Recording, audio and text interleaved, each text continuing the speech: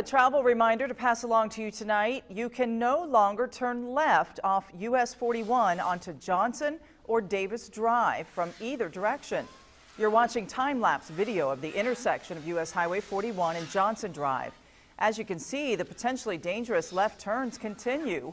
But the Indiana Department of Transportation says drivers need to be especially careful in this area. Crews will work from 8 in the evening until 5 in the morning. That's overnight. The project's scheduled for completion by September 5th.